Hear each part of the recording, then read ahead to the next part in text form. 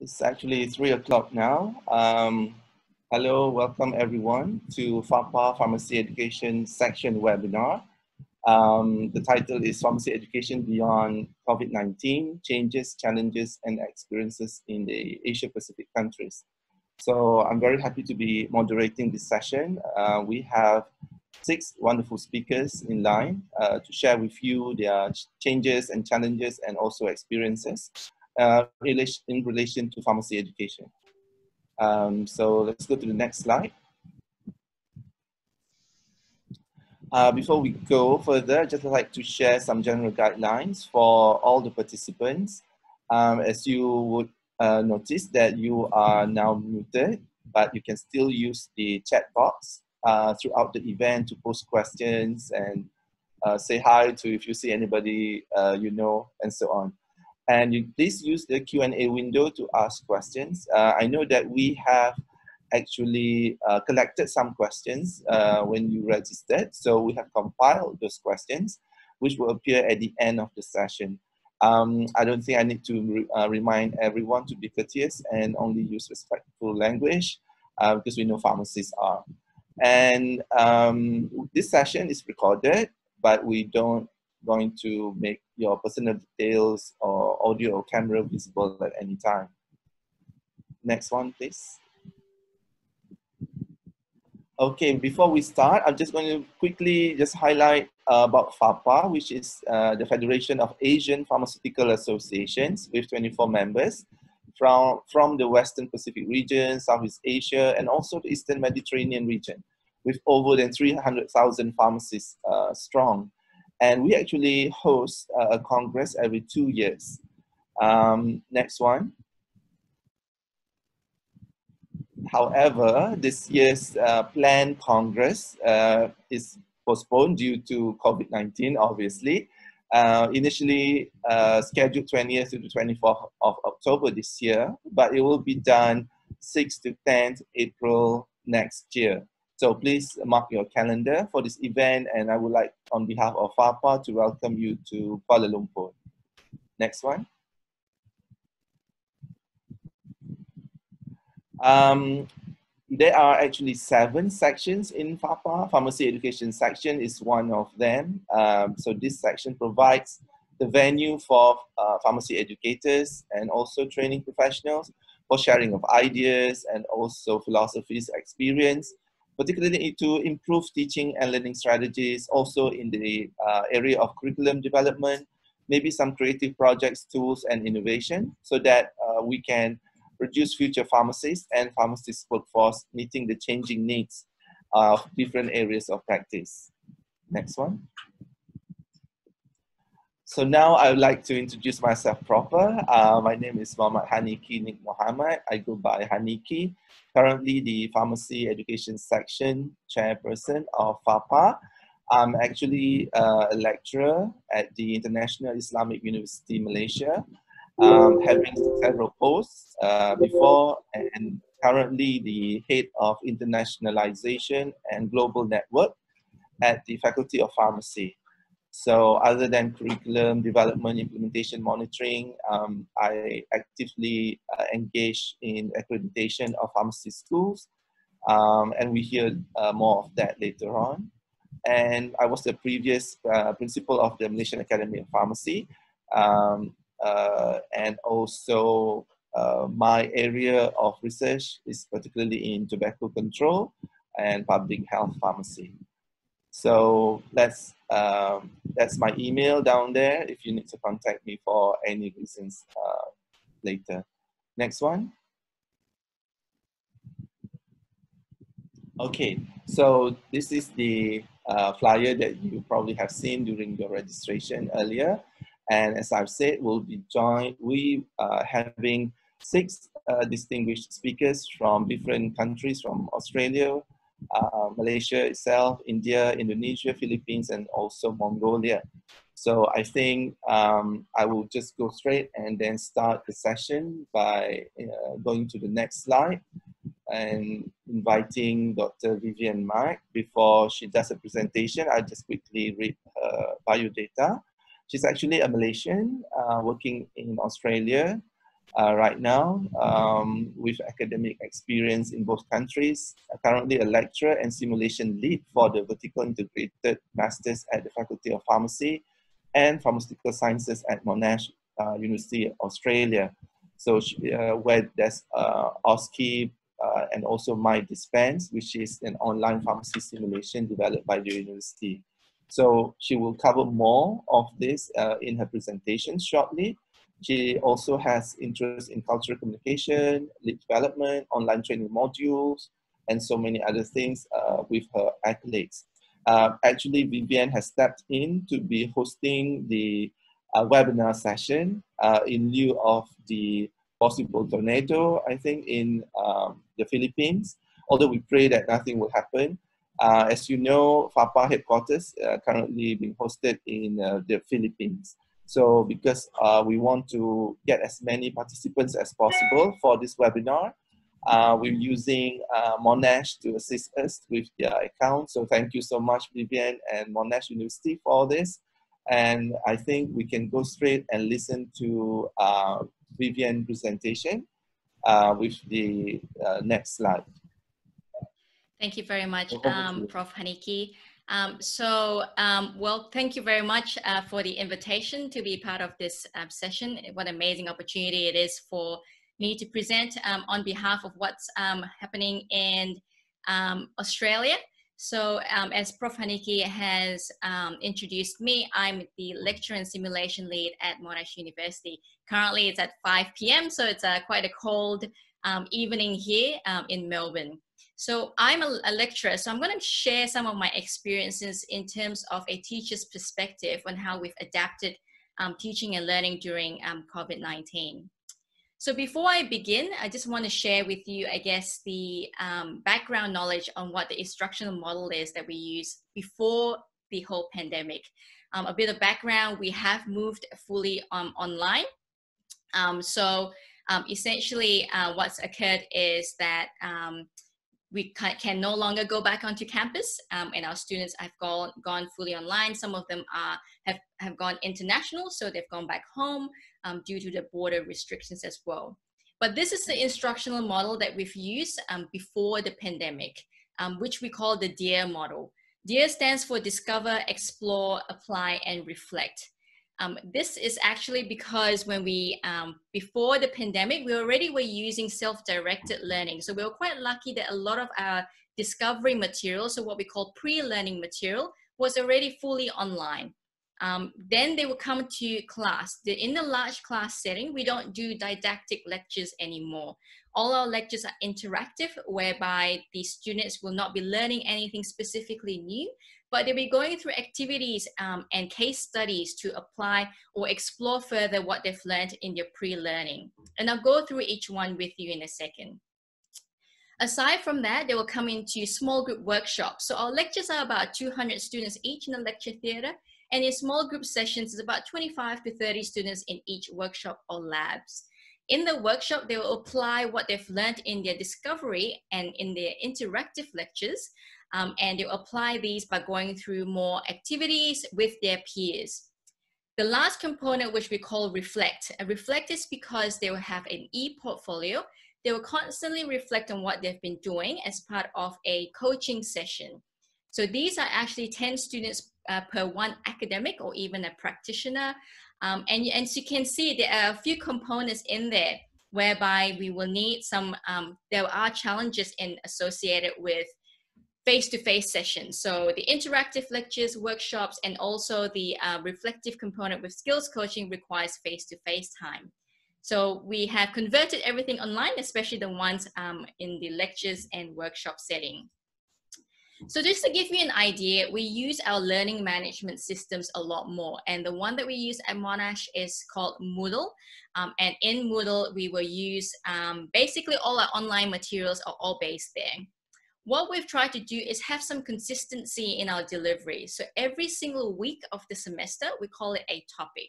So in this instance, the, this topic that I've given to you as an example is on health literacy. So we've decided to keep our instructional model and keep the discovery day. So basically they have a day on Monday, which is allocated for them to do all their pre-learning material. the, the lectures are going to be on Tuesday. They will have a workshop on a Thursday and also have another what we call a close the loop lecture on a Friday. And I'll go through each one with you right now with some examples. This is what we have in terms of the discovery material. So the pre-learning online material that they get. And this comes in the form of text, so they have to read um, materials, or it could also come in the form of videos. One thing that the students have given me a lot of feedback on is that the videos need to have really clear instructions. So we can't just provide them with videos to watch without telling them what they're watching, how long the video is going to be, and maybe some questions for them to answer as they're progressing along. Um, we also tend to find that the videos need to be very short. So um, students tend, the attention span tends to drop when it reaches about 10 minutes. So always try to keep all your videos to be less than 10 minutes long. So this is all done in their own time with very clear instructions. They need to complete all of this before coming and doing the interactive lecture. So if we're doing it on campus, they'll come into a large class, they'll sit down in a lecture theater and you will have a lecturer, so myself there. But because our lectures are not didactic, we have a challenge here where I can't just sit here and record a lecture for the students. Um, so we've decided to do what we call like an activity-based um, recordings. So these lectures are asynchronous, meaning that it's all pre-recorded and they can watch at any time and anywhere. And this is to accommodate students who don't have internet access or maybe they're unable to log in live to a lecture.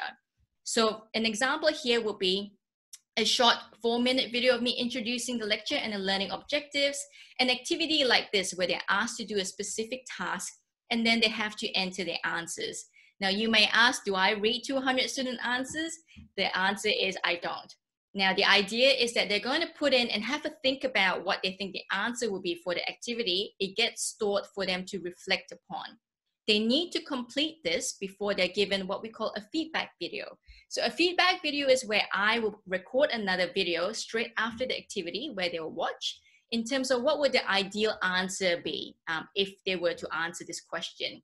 We've taught this lecture multiple times now, so we know what are the common things that students will ask, so we incorporate that in the lecture. In terms of workshops, they do this live. They do this on Zoom, and I'm sure all of you are very familiar with Zoom by now. Um, and they do what we call synchronous workshops. It is very difficult if you get all the students to come into the class without any clear instructions. So this is where the learning management system comes into play again. Uh, we make clear instructions before they come to the workshop what they should expect, what will happen in the workshop, and if there's any submissions they require to do post-workshop. So this is a screen grab of one of our teaching associates doing a workshop with a group of 25 to 30 students. Um, and this is one of the most liked activity um, for the students. So they like being able to see their friends and interact with their peers. We then have what we call um, closed loop lectures. Now, lecture classes are 200 students. So uh, you can imagine if you have 200 students in a Zoom meeting, that's going to be quite difficult to manage. So what we're doing now today for FAPA is what we call a Zoom webinar. A Zoom webinar allows you to put in questions, um, questions into the question and answer tab. And this is what we do with our students at the end of the week to close the loop for the topic. So you will see on the left-hand side, there is a Poll Everywhere component. Now, Poll Everywhere is an application that you can get. Um, essentially, students can post um, anonymous questions and everyone can also upvote their question. So you can see that there are eight students who want me to answer a particular question. So we open this Poll Everywhere topic for an entire week um, so that they are able to post any questions throughout the week and we'll address all of these in the closed the loop lecture. You'll notice that I've put in a COVID-19 um, picture is because we try to incorporate as much of what the practicalities of what's going on now within the pandemic as part of the teaching. And because the topic is on the health literacy, we included some of the topics around the importance of having a medicines list during the pandemic. Um, so, we, so they know that what they're learning is current and practical for their profession.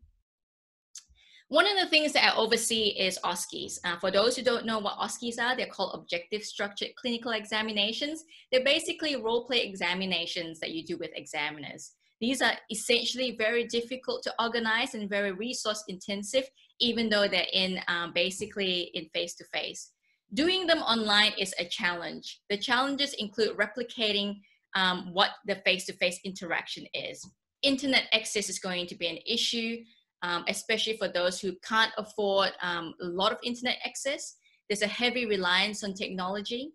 There's also an academic integrity issue because you're concerned about students sharing the exam questions. And I'm assuming it's not just for OSCEs, but for a whole wide range of things as well.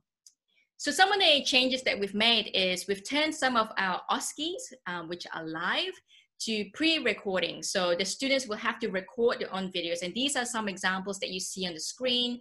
Um, the good idea is they get to do it at home with their family members because they're currently isolated with them.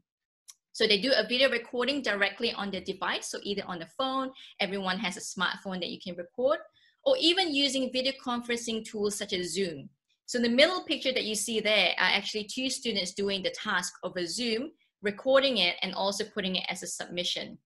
Now you may say that the students are going to put in the perfect video. Of course, everyone wants a full mark, but the idea is that if they're practicing to the point of being quite good at what they do, that will still meet the learning outcomes. So in this particular task, they were actually educating a consumer on the importance of keeping a medicines list. So what positive thing that came out of it is that we have so many new consumers who know how to use a medicines list. So, you know, some of the pharmacy students, the sisters know how to use it now, um, or parents as well. So it's a, it's a really great task that we managed to do. So what's next is we're going to try live OSCEs over Zoom. Um, that's going to happen in a few weeks time. So fingers crossed, everything works well for us. Um, technology is always going to fail us. And I think the really important thing as academics is to not be too hard on ourselves, that it's okay that things don't go um, as, as well as we think. We're going to use the waiting room and breakout rooms functionality in Zoom to mimic OSCE stations. Um, so I'll let you know a little bit more, I guess, once I finished um, trialing this live OSCE. And finally, I just want to end my presentation with a virtual pharmacy simulation that Monash University has created about nine years ago. It's called MyDispense. Um, you can look it up online. It is a free simulation that we share, and we use it not just at Monash University, but we share it freely um, around the world. Around 150 universities now use it from uh, the US, the UK, um, Africa, and also in Asia um, I've seen some of the Asian Pacific um, partners who've also adopted this simulation. So it's there for you. If you're interested, by all means, you can contact us at MyDispense on Twitter or also contact me as well. Um, so that's the end of my presentation and I'll pass this back on to um, Professor Haniki. Thank you so much, Vivienne. Um, for sticking to time, the 10 minutes, uh, and sharing with us uh, some of the changes and innovations at Monash, uh, particularly OSCE and also MyDispense. I'm sure the participants will, uh, who are interested to get more details can contact you uh, directly. And uh, again, just a quick reminder, as I have gone over this earlier, for those who have just joined us, you can use the Q&A window to ask questions. And um, we'll have the questions and answer sessions also at the end of all the speakers' presentations. So can I have the next slide, please? Hmm, okay. Um, uh, we're going to go with this listing. Uh, we just had uh, Vivienne, so now we're moving on to Malaysian very own Associate Professor Dr. Muhammad Zulkefeli Muhammad Yusof, who is the Muhammad Yusof is the current Dean of the School of Pharmacy at the International Medical University uh, in Malaysia. Uh, he's a pharmaceutical chemistry uh, by profession and also current principal of the Malaysian Academy of Pharmacy, as well as the appoint, one of the appointed members of the Pharmacy Board Malaysia, it serves as a panel for accreditation uh, under the Malaysian Qualification Agency of Pharmacy related programs. So the floor is yours, uh, Prof. Zul. Hi everyone, good afternoon. Um, so as introduced, I'm Zul and uh, thank you again to Prof. Haniki uh, for the kind introduction. So I try to stick to the allocated uh, times, 10 minutes uh, with my presentation here. And uh, firstly, uh, my appreciation to FAPA and uh, MPS, as well as uh, to Monash University uh, for the kind uh, sponsorship of this Zoom account. And um, so I'm going to use this opportunity to share the experience or what have been done so far in pharmacy education in Malaysia in terms of changes and challenges during and beyond this COVID-19 pandemic. And uh, before I move further, um, it was to share here maybe um, what is the current situation of this pandemic in Malaysia. So as the last uh, uh, report uh, by Ministry of Health Malaysia on 40th May, there are cumulative 6,800 cases reported so far, where uh, 5,300 uh, recovered cases and uh, still 1,300 uh, cases are active. So the average of new cases in the past four weeks have been reported around the double digit number and uh, we yet to see it drop to a single digit. So Malaysia has been under the uh, fifth phase of movement control order, MCO, which uh, the first phase has started since uh, March um, 18th. And uh, as of today, uh, we are almost uh, two months uh, with this restriction movement situation. So what has happened during this time to our educational system? Generally, all learning institutions, including universities, um, ordered to close the operation and only allowed to do the teaching and learning activity via the online platform from our respective resident or home. So in this webinar, I'm going to share on how we in Malaysia are dealing with these changes um, from Malaysia perspective. Um, next slide, please. So before I share further on the initiative or alternative taken by pharmacy institution in Malaysia, I would like to introduce here to audience in this region briefly about pharmacy education in Malaysia.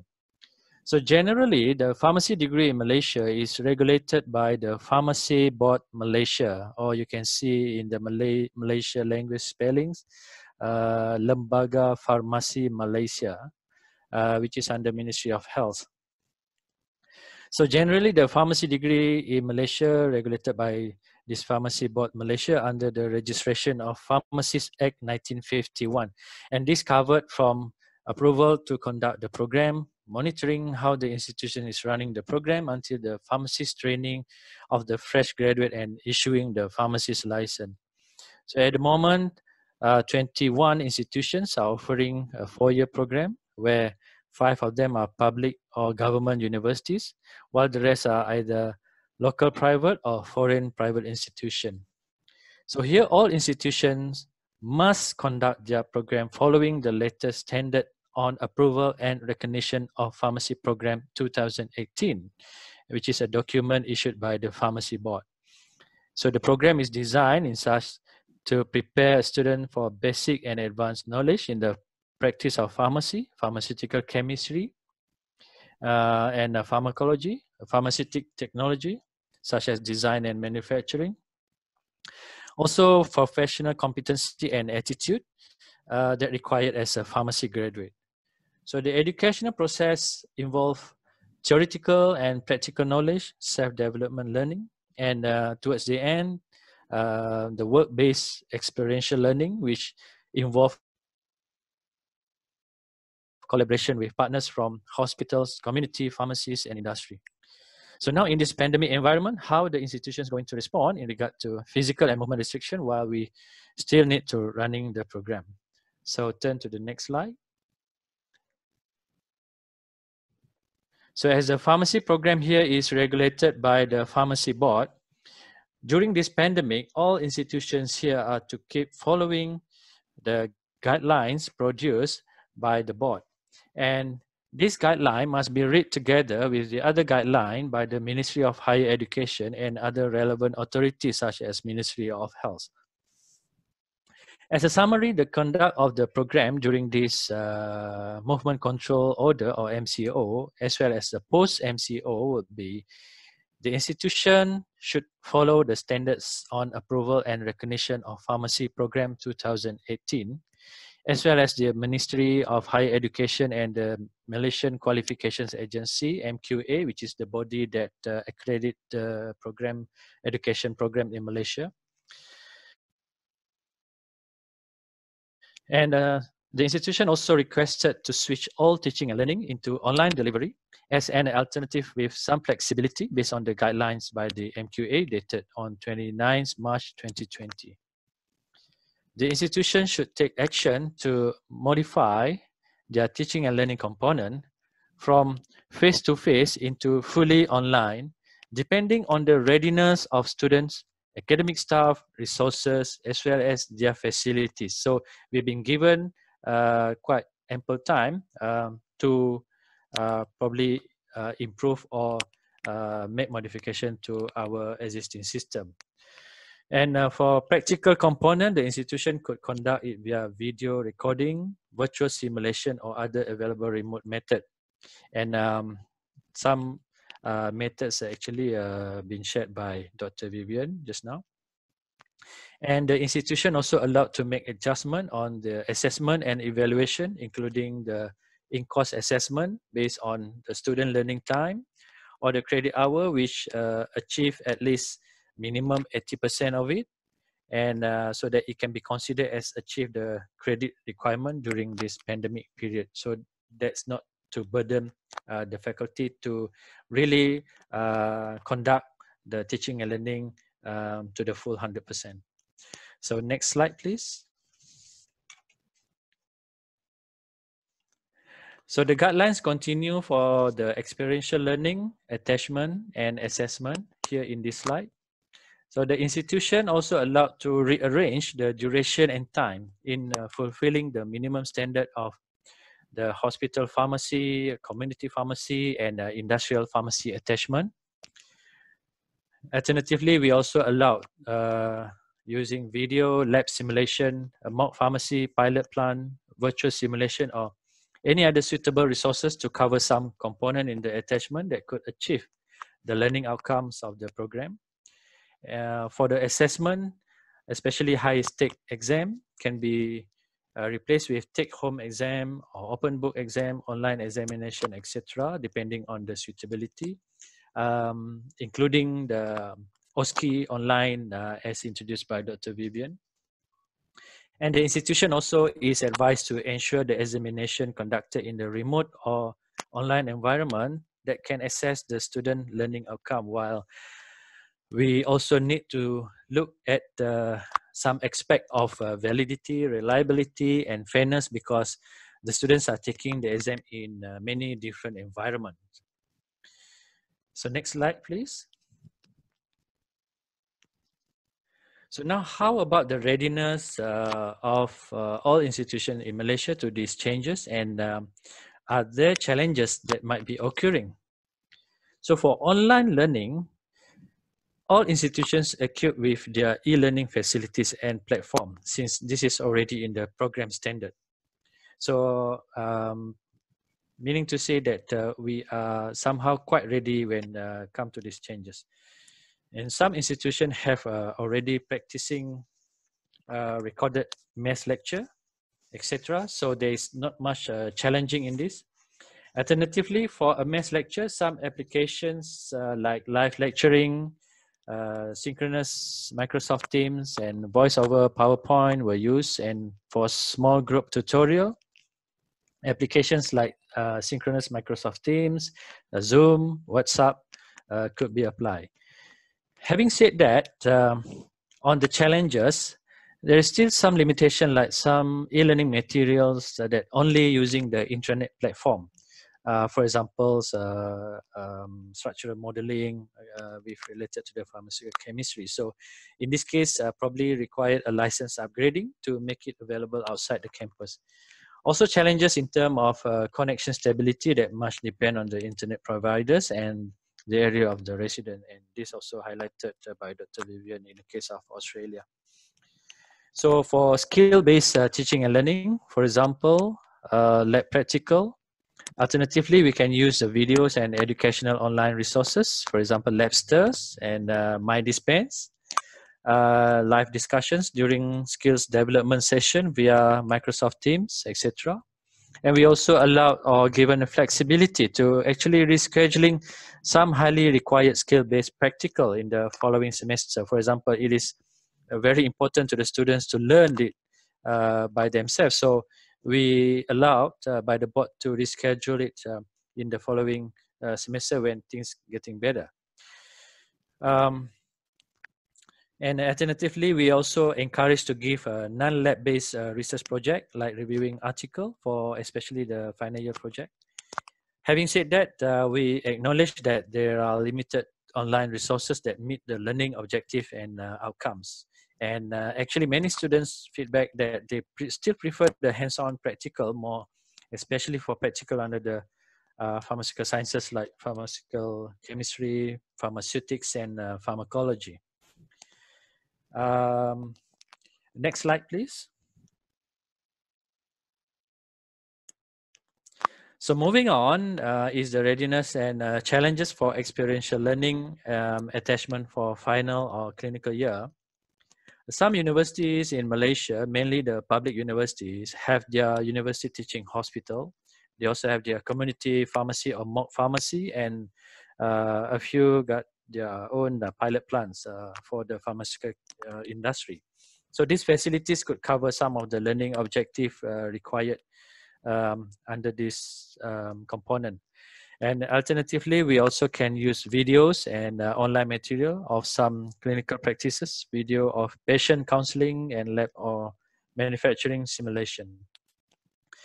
Having said that, there are also some challenges uh, such as uh, for the hospital attachment. Um, because some of the government hospital, which uh, we usually engage them uh, for this clinical attachment, they are now also used as the COVID-19 hospitals, and they are not accepting any students attachment at the moment. So for other hospitals, uh, because of social physical distancing practice, there be a limited number of students. So here, um, what we see is the rescheduling uh, may required for this attachment.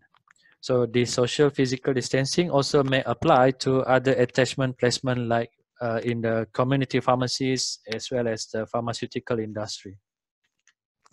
And uh, finally, on the assessment examination, as per the guidelines by the Pharmacy Board of Malaysia, most of the institutions are converting their final semester examination into open book exam or online examination, assignment, etc. So some high-stake uh, or skill testing required examination like OSCE uh, will also possibly be conducted by using online application and technology to replace the conventional way of using human resource and uh, partly already uh, shared by uh, Dr. Vivienne uh, in the case of Monash University.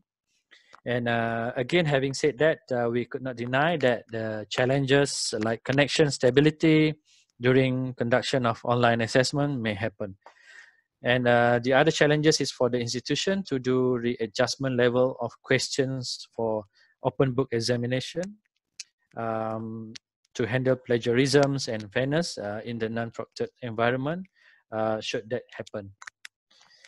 So um, that's uh, the end of my sharing about how we uh, pharmacy institution in Malaysia in general currently handling the program in this pandemic situation while we still need to maintain the outcome of the program as per the standard. And uh, thank you for listening.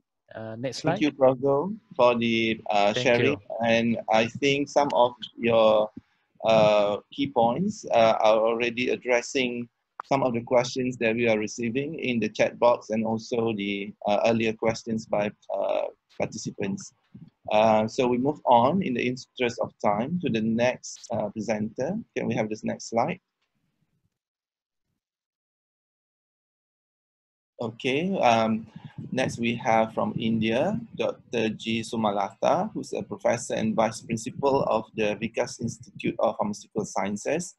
And after gaining her teaching experience uh, from Hindu College of Pharmacy, she is uh, actively involved in professional organizations, uh, also with the Pharmacy Association and EXCO of the FIP.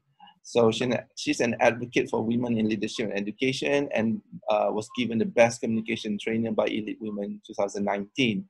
So please, uh, Dr. Sumalatha, in the next 10 minutes, share with us your challenges and experience for pharmacy education in India. Yeah, good afternoon, everyone.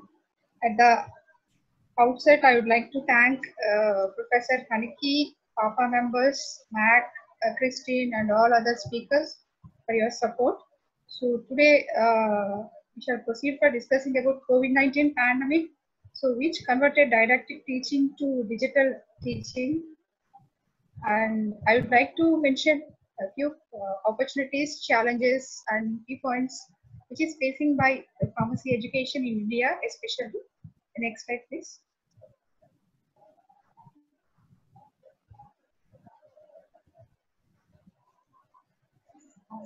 So now status of uh, pharmacy profession in our India is we have uh, around 4,500 institutions, including universities, uh, college schools like government and private schools. And the students are around 1.5 millions. So from different kinds of uh, courses like B pharmacy, B pharmacy, M Pharm and PharmD. And uh, we have 60,000 teachers around our country so you name in the categories like professors, associate professors, and assistant professors. Next slide, please. So, uh, according to our India, the present levels of pharmacy education is uh, like in four, in five, uh, five kinds of things. Like uh, diploma, we are offering diploma course, uh, which is of comprises of two years, and bachelor of pharmacy of four years, and PharmD. So uh, it is of six years course. So an M pharmacy, which is included as a PG of two years and PhDs. So present we have registrable qualifications under this Pharmacy Act 1948. Next slide please. And the curriculum of our UG and PG pharmacy course in our India, uh, how it suits is like it has given a pictorial representation, like 60% of pharmaceutical sciences is in the industry, and whereas practice 10% and humanities 10 and medical sciences 10 and others 10. And our Pharmacy Council of India has taken some initiatives. So now we are following uniform syllabus uh, entire country and we have separated the regulations and we are preparing the students of both UG and PG to meet the industry needs of pharmaceutical sector and also farm we are training PharmD to meet the pharmacy practice needs of our country. So it is purely about uh, quality uh, education based output.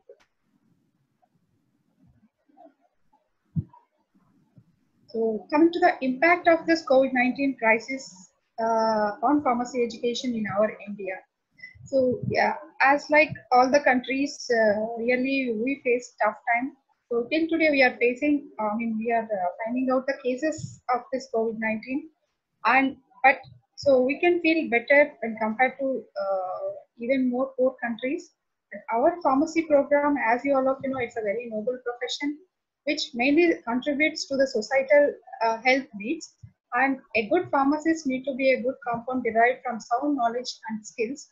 So, so here we need more skills and practical oriented teaching so like when compared to unlike all the arts and other groups, so we here pharmacy required uh, wet lab, instrumental analysis, or like field oriented uh, learning, like if you supposed to take hospitals pharmacy sector. So here we need to have a field oriented learning mainly. So, but this COVID-19 interrupted all the pharmacy students learning relatively with higher magnitude any other program. So, but the digital India vision emerged as a I mean, vital instrument in solving all the problem crises in all these sectors, including education. The COVID-19 mandate to experiment and it is deploying new tools to maintain the education in the same quality uh, to reach the students in a meaningful way. And but we are facing few challenges and there are few missing components because of this uh, digital learning. So that is, there is no face-to-face and personal communication between the students and teachers. And we don't know the student well-being and uh, uh, we are facing challenges in teaching moral values, ethics and level of understanding and sincerity and dedication of the students. and uh, especially speaking about the stress on students and staff members especially.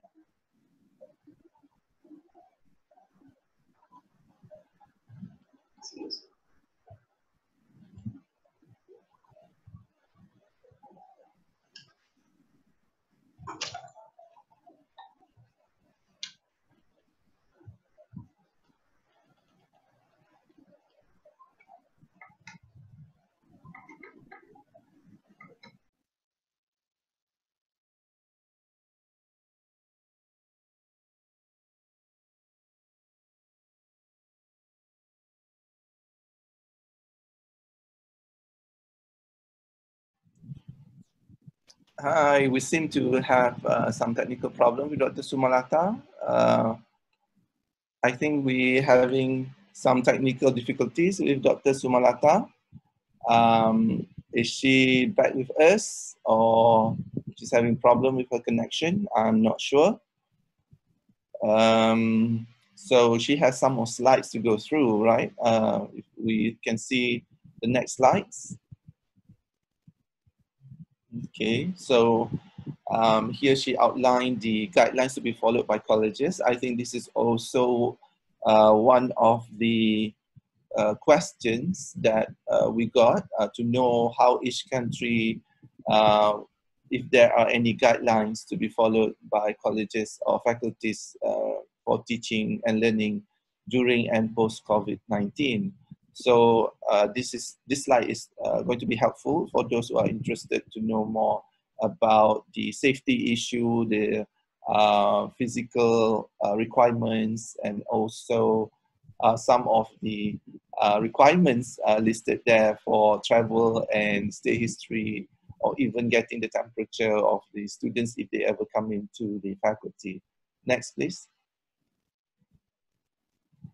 So these are some of the breakdown for the teaching and learning process. Um, also, as mentioned by the previous speakers, to uh, make it more accessible, deliverable, and also more discussion based. So the small groups is the way to go, and making sure that the study materials are actually provided uh, beforehand. So I see that the Sumalatha is uh, back on. Okay, uh, so I'll pass back I'm to sorry. Yeah, I'm sorry, no there is, I think, some network error.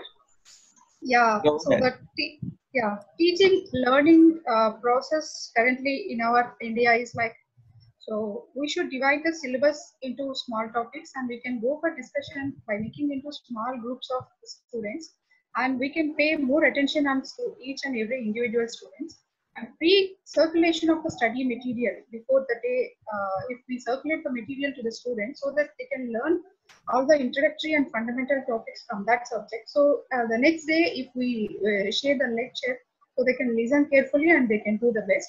And the formative quiz assessments before starting the assigned topics uh, can be done so that we can increase the thinking ability of the students and we can increase the I mean, learning nature in the students. And the assignments with problem-based learning is very important because uh, not reading like a theoretical part regularly, whatever present in the books. If you give an assignment with a problem-based learning like case studies in case of pharmacy practice, case studies, or any experimental uh, assignments and which is uh, on problem-based, so it can be it can improve the understanding levels of the students actually. And videos on some topics and assessment of the ability of the understanding of the student, especially student specific and group discussions on specific course outcome also will helpful in teaching learning process. Next slide. And, and like the syllabus is divided into different topics, like we can divide the students in a class into different groups and batches. A minimum of 15 students can be uh, mentored by a uh, teacher. So, so that we can teach them both theoretically and practically, we can make them ready for, for theory and practical levels we need to convert the teaching reso- resources into digital platform. This is the main challenge uh, now in front of us because of this COVID-19. But we need to cover 25% of the syllabus by this digital platform. But for the, I mean, completeness of this remaining 75%, we 100% we need to uh, teach them face-to-face teaching. The consent affiliating universities in our country, especially, so they have their own uh, addition of the syllabus in apart from this Pharmacy Council of India syllabus. So these universities or schools or colleges need to add some exact e-content information and they need to upload in their website so that colleges can share these digital resources to all the students who are studying in the school. The laboratory assignments and practicals through virtual labs can be shared to all the students, but there won't be any experiential experiential learning. But in such a way, we can try because of these videos and virtual labs. And the internal examinations uh, for this period, this COVID-19 pandemic period, so we need to conduct online. So now we are conducting online in our university and schools. So we are conducting online by giving assignments and problem-based thinking and we are uh, assessing the understanding and thinking ability of the students uh, due, I mean, uh, like through this online examination. But coming to the annual examinations, uh, it need to be decided by the university in due course of time. Next slide, please. So at the outset, uh, I'll be always grateful to our national president, Indian Pharmaceutical Association, Dr. T. Narayana, for his support and kindness. It would be impossible to count all the ways that he helped so many people like me in our careers. Thank you, everyone. Thank you for patience with me. Now I pass on this presentation to Professor Thank you so much, Thank Dr. Manasa, for your sharing. Uh, so next, we'll move on to the um, next presenter from Indonesia. Uh, I, I, noticed a lot of questions uh, came in to uh, regarding the lab-based uh, alternatives for uh, for the students. So, Professor Dr. Agung Endro Nugroho will is currently Dean of Faculty of Pharmacy at the Pharmacology and Clinical Pharmacy Department of Universitas Gadjah Mada, Indonesia. His expertise is in molecular pharmacology and with numerous publications, patents, achievement in research, uh, also a member of Ethics and Discipline Council of the Indonesian Pharmacists Association, as well as Vice President for Academic Affairs of the Association of Indonesian Pharmacy Higher Education, and the Board of Director for the Asian Association of Schools of Pharmacy, and member of the Pharmacy Education Research Network of ASEAN. So I, I would like to invite Prof. Dr. Agung to share his presentation with us. Yeah, uh, thank you very much, uh, ladies and gentlemen. Good afternoon, everyone. Yeah, uh, first of all, I would like to say thank you very much. Yeah, firstly, for board of director of FAPA, uh, board member of FAPA, and a special thanks for Dr. Haniki to facilitate us in uh, FAPA webinar now. And also special thanks for Monash University to support yeah, uh, FAPA webinar through uh, Zoom facility today. Okay, uh, today I would like to, how to say, share our academic uh, activities during uh, COVID-19 pandemic in Indonesia, especially in uh, our university, Universitas Gadjah Mada. Next slide. Yeah, uh, no, I would like to start with uh, Industrial Revolution 4.0. It is uh, closely to challenge of pharmacy higher education, the era of technological disruption. Ladies and gentlemen, now we are facing in uh, Industrial Revolution 4.0 or Education 4.0. This era is uh, closely related to cyber physical system, Internet of Things, and network. And, and there are three uh, new literacies related to Industrial Revolution 4.0. The first, data literacy. It is ability to read, analyze, and use information big data in digital things. And the second one, technology literacy, understanding the workings of machines, technology applications such as coding, artificial intelligence, and engineering principles. And the last one, human literacy or soft skill literacy. It is related to humanities, adaptive skills, communication skills, design, soft skills, social skills, and etc. Yeah, next. Uh, to follow up the points, our government, Indonesian government, released policies. For example, about curriculum reorientation, hybrid learning, establishing lifelong learning unit, and providing grants and technical guidance services for curriculum reorientation for 400 university.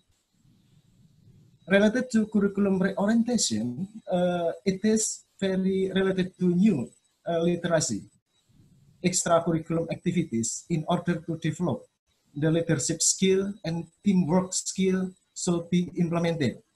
Entrepreneurship and internship is uh, compulsory. So from this, uh, it is uh, very important to reorientate the curriculum in uh, soft skill, data and technology literacies. And also it is about hybrid blended learning online. I mean that uh, it is very important to combine between conventional learning and teaching method with uh, modern uh, methods, online teaching learning. Okay, next.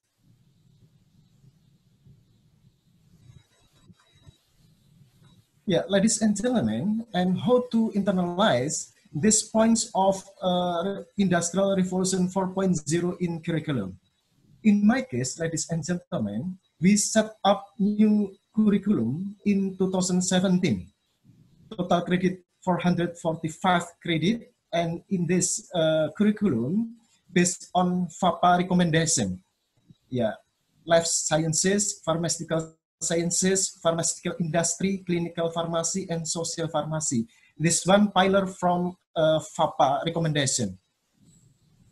In order to internalize uh, Industrial Revolution 4.0, uh, we inserted uh, courses of soft skills for credit in a curriculum, and then a course of digital transformation, three credits, to support encourage uh, data and technological literacies. And also we exposure with co-curricular program every semester to strengthen soft skill of uh, students. For example, character building, English communication skills, public speaking, socio-entrepreneurship, professionalism, leadership, and ethics. So that we do is that the, graduate from, uh, how to say, new curriculum can get new literacies of uh, Industrial Revolution 4.0, soft skill, data, and technological literacies. Next slide. Okay, next slide. Yeah. And how about uh, universities policy on the COVID-19 pandemic? Ladies and gentlemen, mid-March, Indonesian government declares the coronavirus pandemic as a national disaster. And soon, my university released statement of rector about emergency response concerning COVID-19 in our university. And principally, uh, my university restricts mobility to and from overseas. Requests all staff members and students to keep staying at home. I mean work from home and teaching and learning from home during the emergency response periods. And about academic policy, my university uh, suggests to replace all academic activities in campus and classes including practicum with online activities. So all of uh, academic activities are changed with online activities.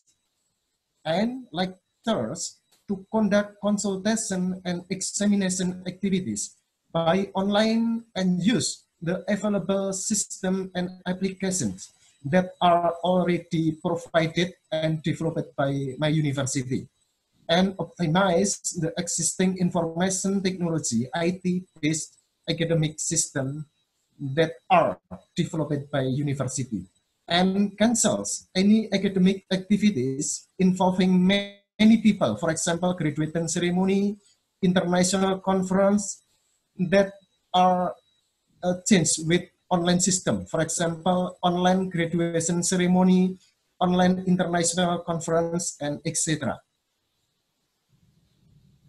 Yeah, next. Yeah, ladies and gentlemen, uh, I would like to continue implementation of online uh, teaching and learning activities in my uh, faculty, ya, Faculty of Pharmacy, Universitas Gadjah Mada.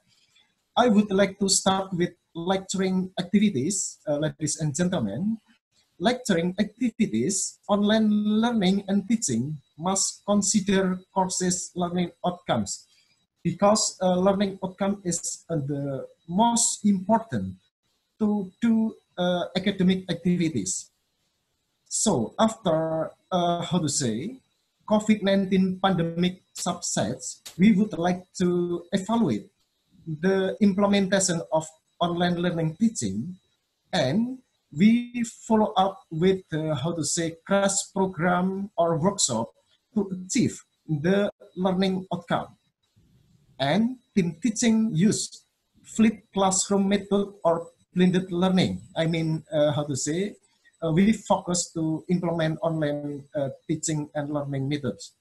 And uh, lecturing method use synchronous methods, for example, Webex, Zoom, Microsoft Teams, Skype, Google Meets, and etc. And asynchronous methods, for example, universities e-learning, ELISA, ILO, and etc. Material are given previously or to students using e-learning so that students can study at home. Synchronous method, we can communicate directly with students, but asynchronous methods, we cannot.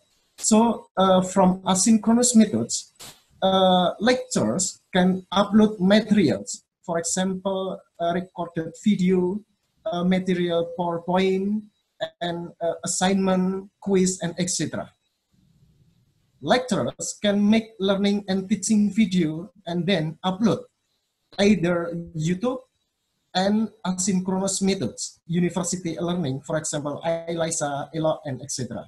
And combines with communication by email, social media groups, faculty websites, and other forms. About student assessment is carried out using the learning management system developed by the university or other system that is the preference of lecturers and students. And we use academic information system through semester yeah, Integrated University Information System, or CIOBA, Outcome-Based Assessment Information System. Next. Okay, and how about practicum? Uh, laboratory practices replaced by online methods such as online simulation, dry labs, videos, lab case studies, and etc. And about uh, thesis for bachelor program, research is recommended using review methods. For example, narrative review, evidence review, systematic review. Uh, ladies and gentlemen, especially for bachelor program, uh, actually narrative review is uh, suitable yeah, method item for basic program uh, rather than evidence review and systematic review. Or we also suggest uh, survey data collection. I mean data collection use online searching by online database, website, internet, and etc. However, uh, master, uh, for master and PhD program, students are not yet permitted to work in the faculty laboratory until the COVID-19 infection pandemic subsides with considering some academic dispensation. especially for master program of clinical pharmacy and master program of pharmacy management who have not finished the proposal, it is recommended to be switched to suffer data collection methods, for example, uh, from website, online, and etc. For proposal and final thesis examination, we conduct online examination. Okay, next. Yeah, ladies and gentlemen, I would like to continue to professional working practices yeah, uh, in Indonesia, ladies and gentlemen. In the curriculum bachelor, uh, it is for years, and after graduate from a bachelor program, the student uh, continue to professional educational program. In a professional educational program, mostly the student do internship and how to change uh, the professional working practices. Uh, it is very difficult, yeah, ladies and gentlemen, to achieve the learning outcome. At least we minimize, I think, the gap of uh, how to say achievement of learning outcome. In order to get this purpose, we do some how to say programs. For example, sharing content methods via videos and presentation, making learning videos ya in uh, industry, pharmacies, or apotek ya in Indonesia names, hospitals, health centers, and etc. So uh, we make video activities ya in industry and uh, apotek or pharmacies, uh, hospitals, health centers, and etc. And we also add additional activities, yeah, group sharing. In the group sharing, discussion groups involving field supervisor, preceptors, or practitioners and students who have done professional working practices, and we uh, ask the students to present yeah, the experience uh, about uh, professional working practices, and also involve the student who have not have done professional working practices. And also we do online teaching and learning by practitioners and preceptors. And the last one about graduation, we uh, conducted a ceremonial graduation by online. I think uh, it is enough our presentation, ladies and gentlemen. Thank you very much. Uh, yeah, I will give times to Dr. Haniki. Thank you.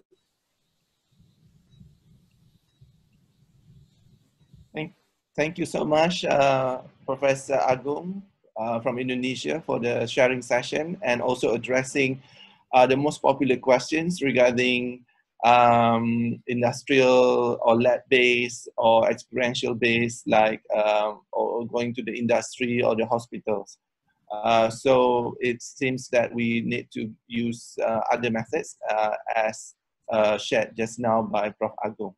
So next one, we're going to hear from Dr. Erwin Martinez Faller from uh, San Pedro College Davao, who is the Director of Internationalization and Linkages.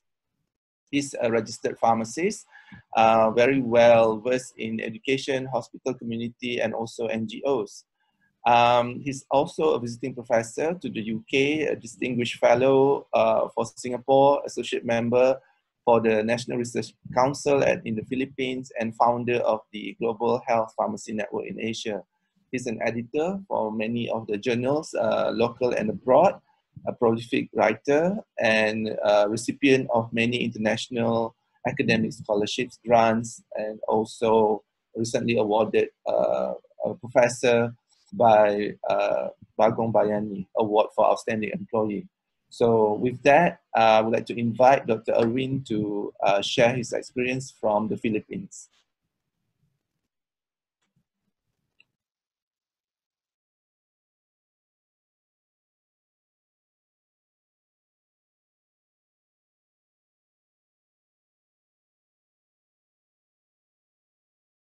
Uh, Dr. Erwin, you need to unmute the mic.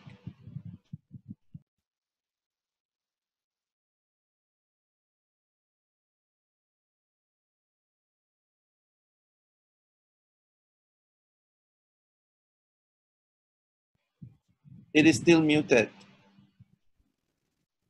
Uh, Dr. Arwin.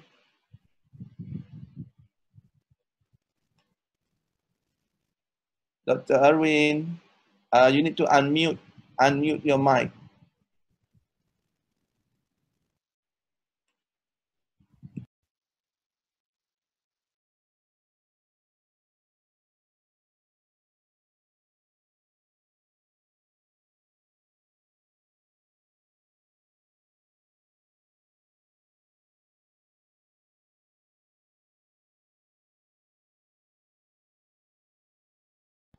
I hope everyone can bear with us for um, a few minutes when we um, we're trying to uh, trying to resolve this technical issue with uh, Dr. Erwin.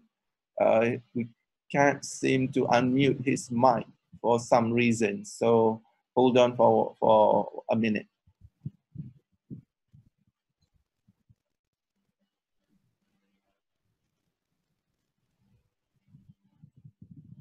As I mentioned earlier, um, there's a typhoon a warning uh, for the south of Philippines. So I hope this is not um, the effect of the typhoon uh, maybe approaching the area.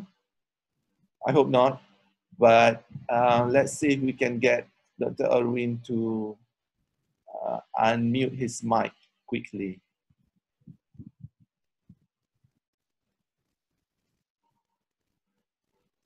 If not, um, maybe uh, we can go to the next presenter from Mongolia first, and then we'll see if we can come back to uh, Dr. Erwin later. Is that possible? So we have uh, two presenters actually from Mongolia. We have Prof. Dorjbal and also Miss Zaya um, but first, I'm just going to briefly introduce Prof. Dorjbal, who's a professor at the School of Pharmacy of the Mongolian National University of Medical Sciences and a member of several expert committees on drug and pharmaceuticals uh, at the uh, Ministry of Health Mongolia. She's also the president of the Mongolian Association of United Pharmaceutical Organization and member of the Scientist Board of School of Pharmacy. Her co-presenter is uh, Ms. Zaya, the Officer of Undergraduate Training Division of Educational Policy and Management of the same university. So I will invite both presenters from Mongolia to share. Yes. Hello, everyone. First of all, I would like to appreciate the organizers of FAPA and Professor Haniki, Professor Christine, Viviana, and all of the particip participants from uh, the countries. So uh, today uh, we have a great opportunity for sharing experience during this COVID situation. So now in Mongolia, we have uh, 60 infectious people with COVID-19 and now they've uh, recovered 20 people for now. So I will introduce about the COVID situation in Mongolian pharmacy schools. Next slide, please. In Mongolia, we have um,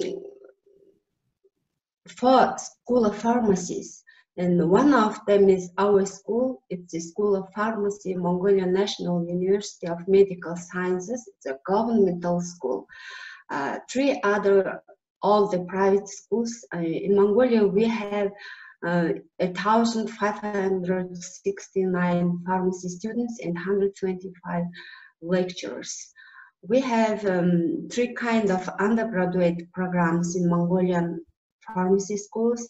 Uh, it's a pharmacist of five years and 180 credits. Accelerated pharmacist in three and plus three. It's a 100 credits. Pharmacy technician, uh, the program is 104 credits graduate program in Mongolia, master and doctoral degree, and post-graduation subspecialty program we have. It's a clinical pharmacist, pharmacy drug inspectors, pharmacists, pharmaceutical technologists in traditional medicine. Next slide, please. Next slide. Now in Mongolia, we have goal in this situation of COVID-19. First, uh, all pharmacy schools foremost to ensure the safety of our employees and the students. Uh, provide online classes to the entire undergraduate and graduate students. Considering the most recent news and announcements from WHO and the government of Mongolia, offered extended sick leave for our employees, lecturers, and arrange a flexible schedule. And then these all precautionary measures have been taken to limit the potential spread of COVID-19 infectious to support our students and employees in this challenging time. Next slide, please. Next slide. In Mongolia, we have a um, policy regarding online courses, e-learning centers, and uh, multimedia centers and IT centers all working together in this situation. Uh, we follow the regulations including Mongolian law of education and Mongolian law of health. And all pharmacy schools having their uh, own orders regarding to this situation. Order for providing e-learning, e-learning training and standards, order for education technology and quality monitoring, order for pre-medical courses, uh, and policy for student assessment, evidence in the research-based online courses uh, are developing now. Next slide, please. Next slide.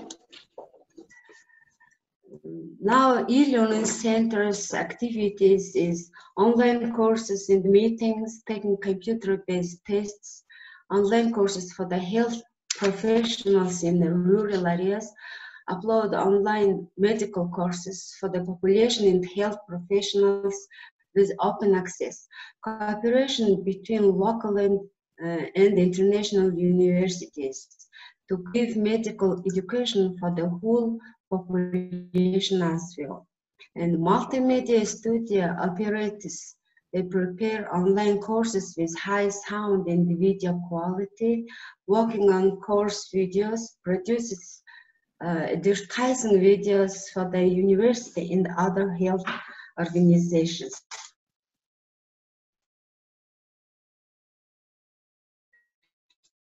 E-learning cabinets, oh, next. Next slide, please.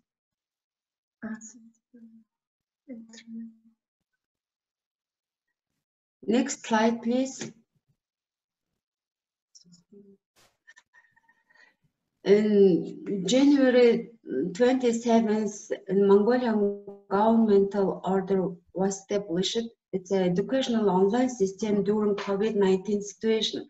And after that, in uh, last five months, we having lots of problems uh, during in these situations, but we still using e-learning centers, cyber universities, and Google, Google Suits, xCloud, Zoom, Google Meeting, Skype, Join Me, and this kind of programs and uh, web accesses we are using. Now in pharmaceutical sector, we have uh, 1,500 users, um, 42,000 accesses every day, and 850 uh, participants every day um, participating in this e-learning. For example, um, 51 subjects of pharmaceutical sciences were included in, uh, in e-learning and 2,100 video lectures, contents in 5.7 million emails, and 8,000 video conferences, 2,000 online classrooms, and lots of files shared and posts were used every day. In Mongolia, a lot of students using personal computers. It's a 56.8% of students using personal computers and 42.6% uh, using smartphones and others using the tablets. Next slide, please. Next slide. Problems regarding online educational process during COVID-19 situation. Lack of internet access in distance the rural area because in Mongolia we have lots of square kilometers but uh, very few population. It's a 3 million populations. Uh, regarding e-learning face-to-face communication must be substituted with another method of communication, for example, Google Meetings, Skype, video chats, discussion boards, and Google Classroom. Uh, to deal with the negative effects associated with the lack of face-to-face -face communication during online learning. Also, research have demonstrated successful examples of peer feedback systems uh, in online learning, uh, which could be a potential solution to the problem of limited student feedback in e-learning. Additionally, this uh, disadvantage of e-learning is sometimes solved through video chats with professors. And second, enhance of capacity internet server. Uh, with that, in Mongolia, um, helped the information technology departments of the pharmacy schools are helping with that. Um, third, online learning is inaccessible to the computer illiterate population. Also, mm, face-to-face -face communication lacks. The students uh, uh, um, suggested that the discount of data content of payment of mobile phones for students mm. is very needed. And seminar practice subjects assessment is very poor now and insufficiency of e-textbooks, online student feedback is limited, online instructors tend to focus on theory rather than practice. Next slide, please. We, we recognize that with the constantly changing COVID-19 situation around the world, this is an unprecedented time for everyone, a time that for many is filled with uncertainty. Our hearts and thoughts go out to each and every one of you. Thank you. Thank you very much. Thank you very much, uh, Prof. Dorjbal, uh, for sharing the wonderful initiatives taken in Mongolia. Um, we actually uh, do not get Dr. Erwin uh, to join us due to uh, technical issues. He's here, but uh, for some reason, his presentation, um, he cannot do his, his live presentation. But fortunately, we anticipated this matter. Is he back? It seems yes. that you're, you're back. Ah, okay, good. Okay, we actually have a recording of his presentation, but since he's able to do it, um, so we'll go back to uh, Dr. Erwin. He's already introduced. So let's uh, go straight in. Dr. Erwin, go ahead. much, Prof. Haniki, and to our pharmacy educators and co-pharmacists. Good afternoon. Amidst uh, here in the Philippines, it's a typhoon and at my back it's actually uh, a horn, uh, it's actually the dog is barking know? So uh, to all good afternoon.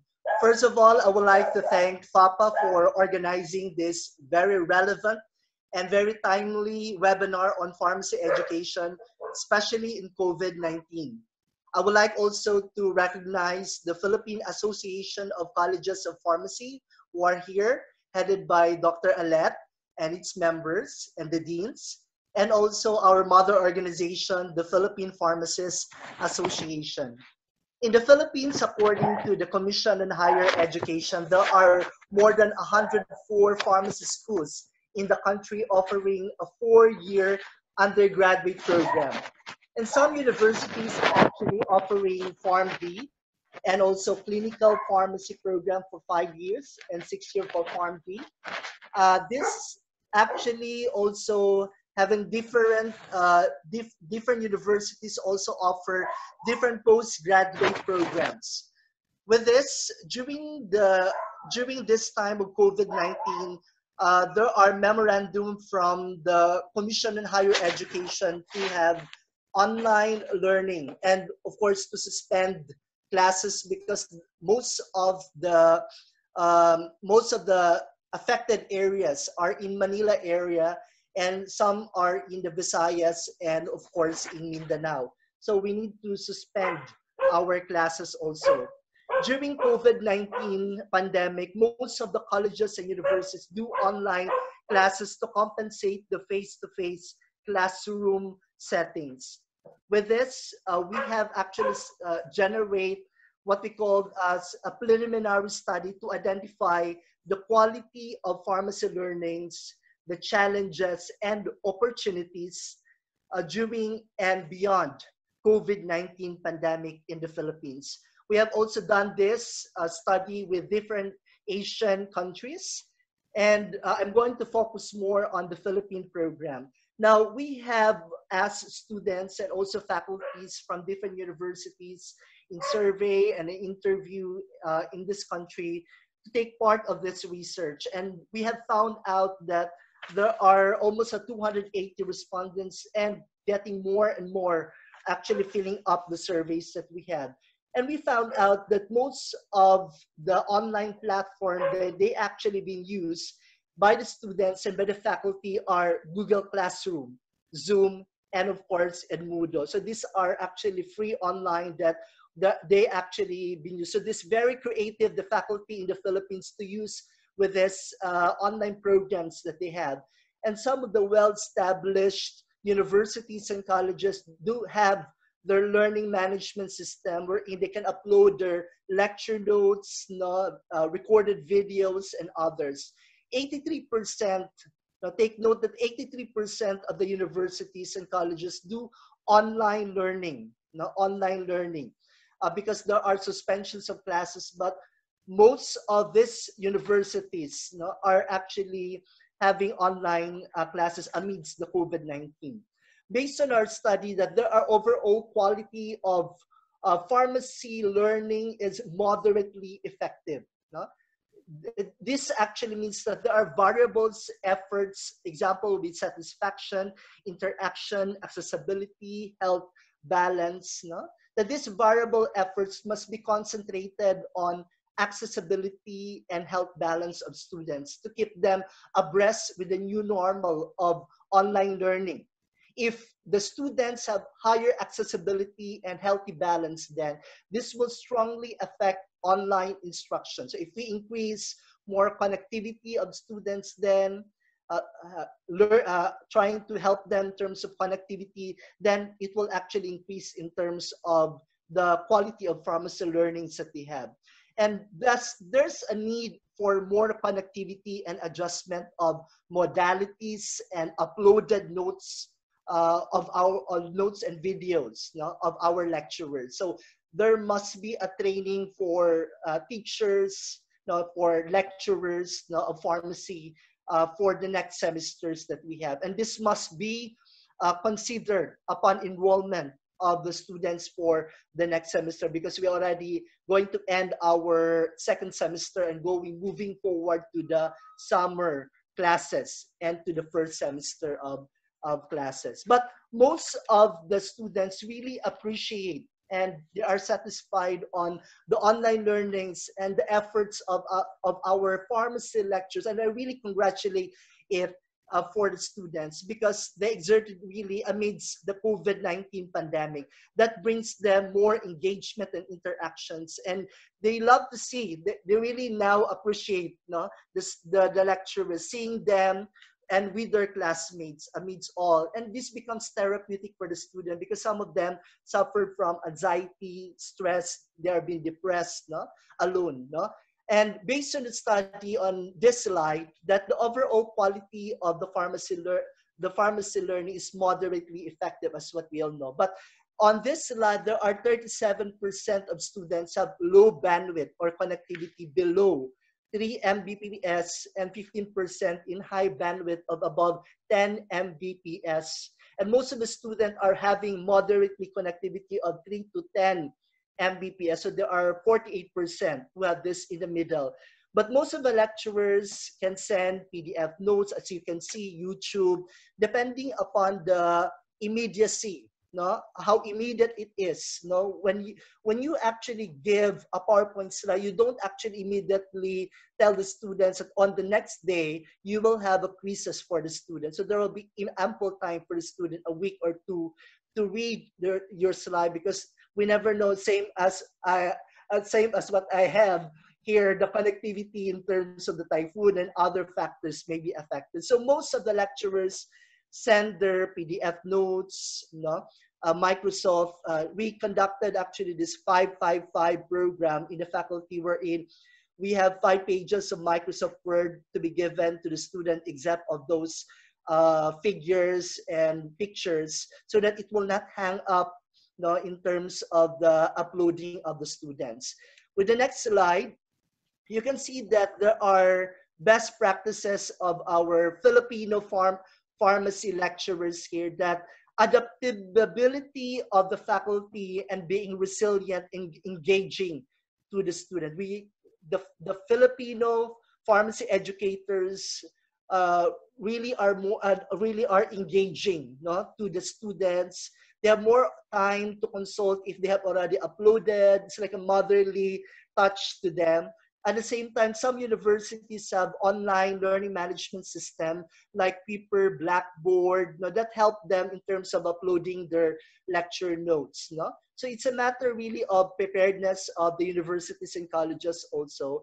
And the most highlight of this best practices is the sharing of resources. And that actually in terms of sharing a load, no, top up uh, in terms of uh, uh, top up with their load, no, to have a data, borrow gadget in terms of the schools, and of course sharing resources. And that makes a unique characteristic of uh, of this uh, of the Filipino phar- pharmacy lecturers of the bayanihan or the community spirit na, among all of uh, all the faculty and the student. Next slide, please. With this, there are a lot of uh, challenges uh, being identified in our research, no, in the nation, nationwide research, that uh, there's really a, a, big problem in terms of connectivity and less of resources on some of our uh, some of the universities and colleges, especially uh, especially those small universities and colleges that we have.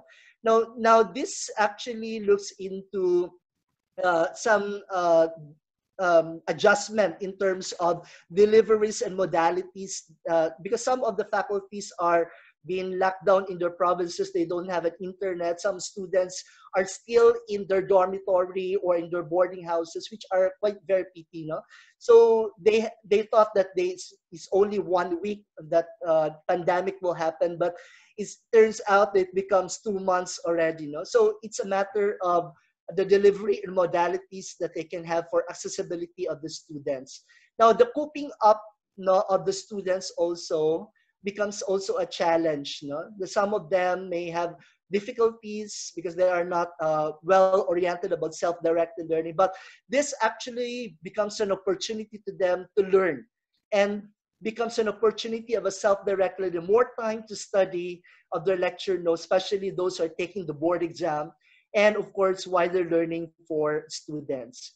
With this, these are the challenges and opportunities that affect now with this COVID-19 pandemic in our movement, our plans, at the same time directions in the future and beyond pandemic.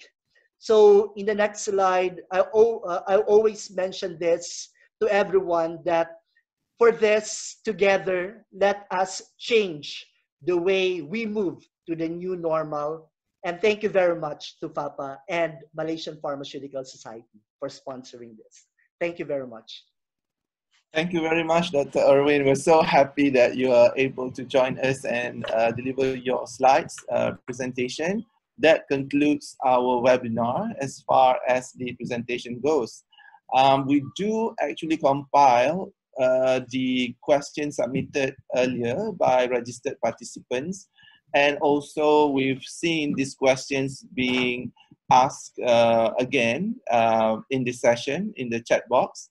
And I can quickly say that uh, most of the questions centered around the uh, alternative teaching and learning uh, for, especially for experiential type uh, uh, teaching and learning, like the practical, uh, also clerkships, or attachment to hospital and industries. Actually, um, some of the speakers have uh, have actually highlighted this uh, particular issue in their presentations and how they actually overcome or try to overcome or manage the situation in their respective country. Um, if you would like to know more, then uh, I would uh, would stay. You can uh, stay on, and then uh, I'm going to invite uh, Professor Agung to share with us uh, the experience in Indonesia, particularly to the industry-based uh, and also hospital-based teaching and learning, uh, and what has been done uh, in the country. Uh, Professor Agung, do you want do you want to take this question? Okay, okay. Uh, thank you very much, uh, Dr. Haniki, and uh, thank you very much for ladies and gentlemen for the question. I would like to share our experiences here. in my Faculty of Pharmacy, Universitas Gadjah Mada. It is about uh, professional work, working practices, yeah. Internship, yeah, in industry, pharmacies, yeah, or apotek in Indonesia, pharmacies is uh, apotek, yeah. Hospitals and health centers. In my case, uh, yeah, uh, practical works, yeah, it is related to skill-based academic activities. Yeah, it is very difficult to change to uh, online academic activity. It is different with uh, comparing for uh, comparing to uh, knowledge-based academic activities. For example, lecture and learning is very very easy, more easier than uh, how to say uh, skill-based academic activity. But the important thing, how to minimize the gap of learning outcome yeah, of these uh, courses. In my case, uh, professional working practices, we, uh, we change with sharing content methods. Yeah. We provide videos, yeah, videos of activity in industry, uh, pharmacies, hospitals, health centers and also presentation. Uh, actually, uh, videos of activity are not enough. So uh, we also combine with presentation. Besides sharing content methods, we also conduct a group sharing. We make discussion groups uh, consisting of uh, supervisor, preceptors, practitioners, and also students who have done professional working practices. So uh, these students already have experiences about professional working practices. And also we invite students who have not done, uh, how to say, uh, professional working practices. And we also add with uh, online teaching and learning by practitioners and preceptors.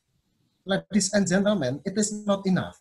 So after COVID-19 pandemic subsets, we are going to evaluate the learning outcomes achievement.